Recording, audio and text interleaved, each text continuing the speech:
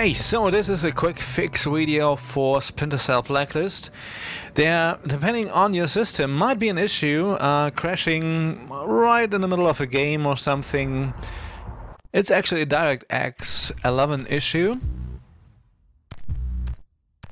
You can find the settings in video settings, of course, go to advanced options.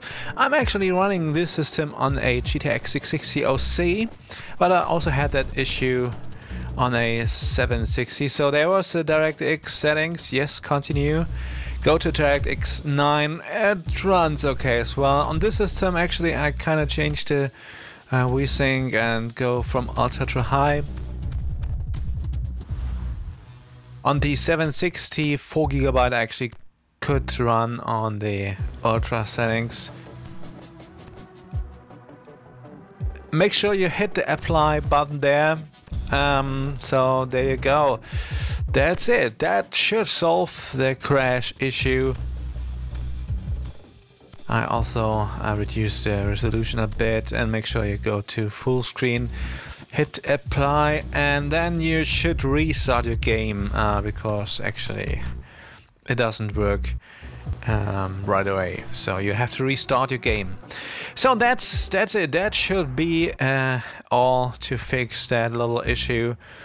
Um, as you can see here, I'm playing uh, this little extra mission. Actually, I will upload a few more of those side missions uh, soon. I just started playing them.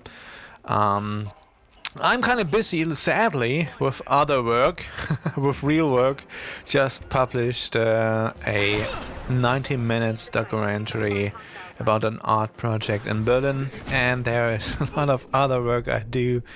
So this gaming stuff really is just a side project, so to speak. But yeah, I, I try to upload a little bit more of those Splinter Cell Blacklists and side missions, because nobody actually um, does this on YouTube, I guess. Anyway.